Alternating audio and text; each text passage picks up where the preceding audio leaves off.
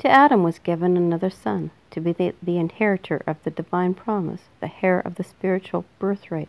The name Seth, given to the son, signified appointed or compensation. For, said the mother, God hath appointed me another seed instead of Abel, whom Cain killed. Seth was more noble stature than Cain or Abel, and resembled Adam more closely than did his other sons. He was a worthy character, following in the steps of Abel, yet in, he inherited no more natural goodness than did Cain. Concerning the creation of Adam, it is said, In the likeness of God made he him. But man, after the fall, had a son in his own likeness, after his image. While Adam was created sinless in the likeness of God, Seth, like Cain, inherited the fallen nature of his parents. But he received also the knowledge of the Redeemer and instruction in righteousness.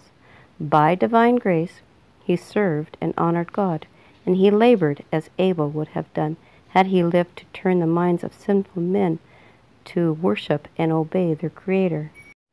To Seth, to him also there was born a son, and he called his name Enos. Then began men to call upon the name of Jehovah. The faithful had worshipped God before, but as men increased, the distinction between the two classes became more marked. There was an open profession of loyalty to God on the part of one, as there was contempt and disobedience on the part of the other.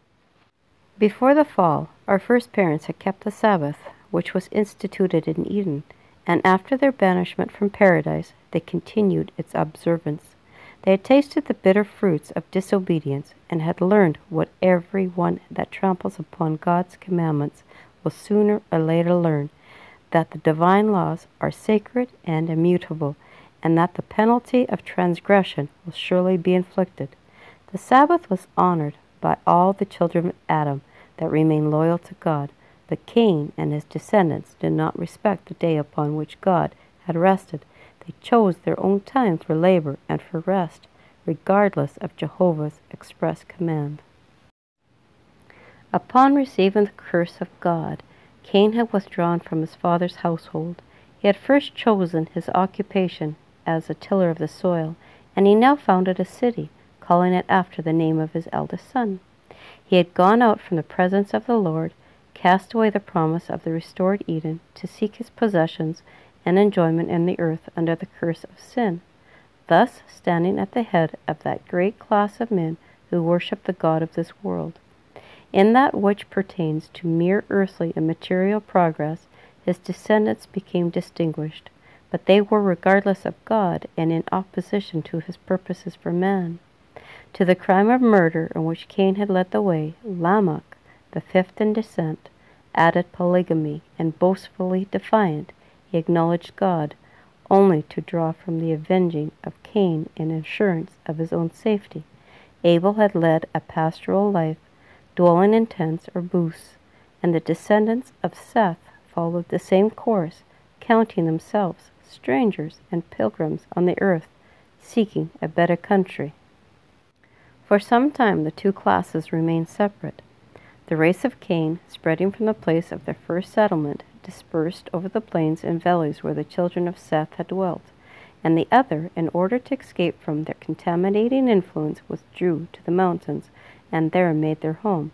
So long as this separation continued, they maintained the worship of God in its purity. But in the lapse of time, they ventured, little by little, to mingle with the inhabitants of the valleys. This association was productive of the worst results. The sons of God saw the daughters of men that they were fair. The children of Seth, attracted by the beauty of the daughters of Cain's descendants, displeased the Lord by intermarrying with them. Many of the worshippers of God were seduced into sin by the allurements that were now constantly before them, and they lost their peculiar, holy character. Mingling with the depraved, they became like them in spirit and in deeds. The restrictions of the seventh commandment were disregarded, and they took them wives of all which they chose. The children of Seth went in the way of Cain. They fixed their minds upon worldly prosperity and enjoyment, and neglected the commandments of the Lord. Men did not like to retain God in their knowledge. They became vain in their imaginations, and their foolish heart was darkened. Therefore God gave them over to a mind void of judgment. Sin spread abroad in the earth like a deadly leprosy. Dear Lord, we thank you that our weaknesses are opportunities for your strength. Please teach us how to experience your grace in our lives and how to depend on your power. In Jesus' name we pray. Amen.